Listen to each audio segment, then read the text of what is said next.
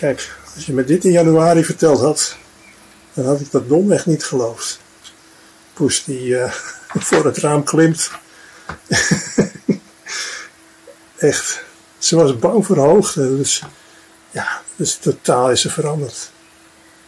Dit is echt niet te geloven, zoals dat beest ineens veel jonger is. En klautert en doet en... Hé! Hey! Viel er wat? Hé boef?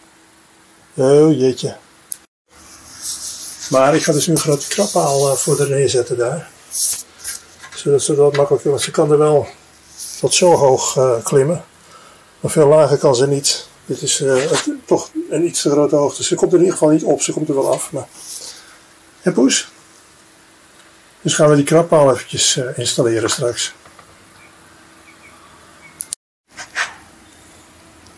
Hij staat al. kijk, kijk, kijk. En Poes heeft er al bezit van genomen. Ja, Poes?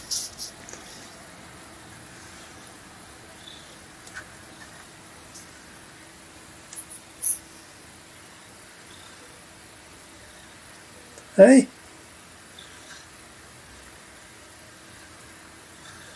Ik heb een koptelefoon op met een radioprogramma, dus ik ben benieuwd of dat te horen is. Ik zal vast wel moeilijk praten, want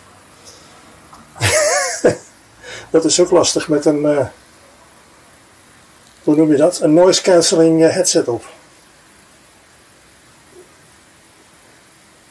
Als de poes miauwt, dan hoor ik het niet eens.